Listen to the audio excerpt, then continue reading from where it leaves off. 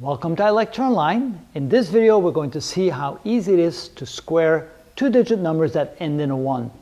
And it has a special technique. For example, the number 11. If you want to square the number 11, 11 squared, what you do is you take the first number and you square it. Now, 1 times 1 is 1, and add two zeros. Then you take the first number and you double it and add one zero. That becomes 2, add a 0, that's 20, and then you add a 1 to it, add it all up, you get 121. Let's try the number 21 squared. Again, you take the first number and you square it, that gives you 4, add two zeros, that gives you 400. Then you take the first number and double it. That's 4, add a 0, that's 40, add 1 to that, 441. Now, of course, after some trying and after some practicing, you can do this in your head without actually writing everything down. Let's try it on the third one. 31 squared, take the first number and square it. 3 times 3 is 9. Add two zeros, that's 900. So remember 900. Then you take the first number and double it and add a 0. 3 times 2 is 6. Add a 0, that's 60. 900 plus 60 is 960. Add 1, 961 that's the answer. So what we did was we took the first number, squared it, and add two zeros.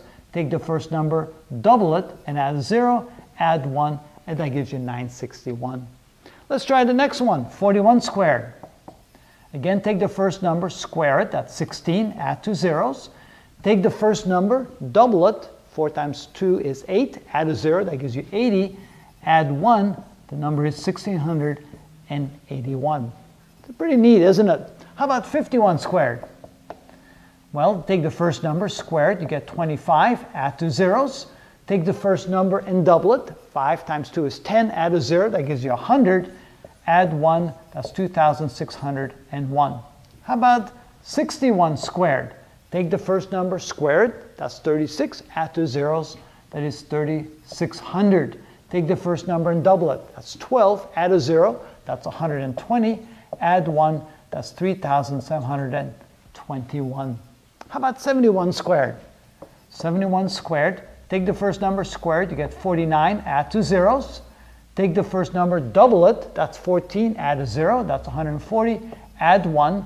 4900 plus 100 is 5,000 5, uh, plus 41. It actually becomes fun when you begin to do math like that. At least I think so, after you practice it for a while. Let's try 81. 81 squared. Take the first number squared, you get 64, add two zeros. Take the first number and double it. That's 16, add a zero, that's 160. Then add one, that gives you 6,561. And finally, 91 squared. Take the first number and squared, gives you 81, add two zeros, 8100.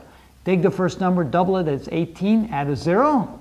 And finally, add a one, that's 8,200 and 81.